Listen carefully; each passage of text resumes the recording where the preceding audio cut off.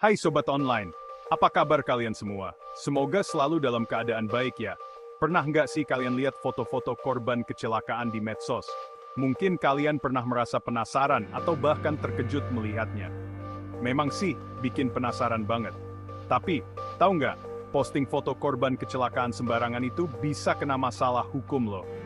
Ini bukan cuma soal etika, tapi juga soal hukum. Jangan sampai kamu yang malah jadi viral gara-gara salah posting. Di Indonesia memang belum ada aturan eksplisit mengenai larangan untuk memposting foto korban kecelakaan. Tetapi kita punya Undang-Undang ITE, atau Undang-Undang Informasi dan Transaksi Elektronik.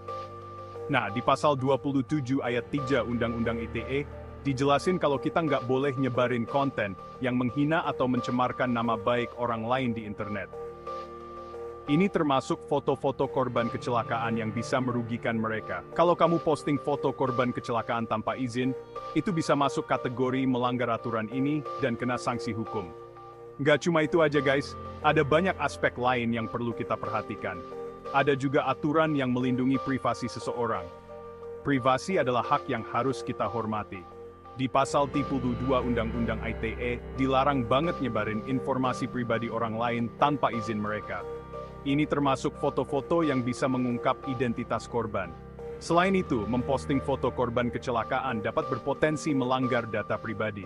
Sehingga dapat dijerat dengan Undang-Undang Perlindungan Data Pribadi, Pasal 67 Ayat 1 dan 2, dengan ancaman pidana penjara 4 tahun dan atau denda 4-5 miliar rupiah. Terus, ada juga Undang-Undang Perlindungan Anak. Kalau korbannya masih anak-anak, wah, kamu bisa kena masalah yang lebih berat lagi. Pasal 29 Undang-Undang Perlindungan Anak melarang penyebaran informasi yang bisa ngeganggu perlindungan anak. Hati-hati ya, sobat online. Jangan sampai kita merugikan anak-anak yang seharusnya kita lindungi. Udah mulai ngerti kan? Penting banget buat kita semua untuk lebih bijak dalam menggunakan media sosial. Jadi daripada ngambil risiko yang nggak-nggak, mendingan kita jaga etika waktu main medsos.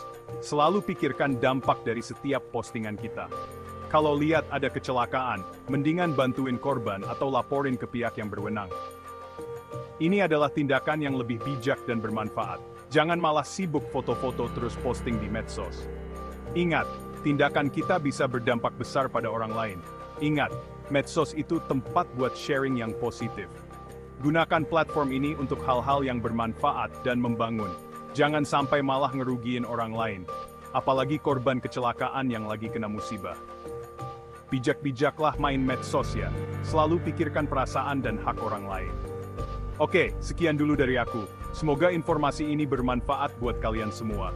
Kalau masih bingung atau mau nanya-nanya, tinggal tulis aja di kolom komentar. Aku akan berusaha menjawab semua pertanyaan kalian.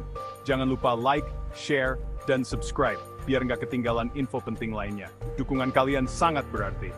Sampai ketemu di video sesobat online tetap bijak dan berhati-hati di dunia maya.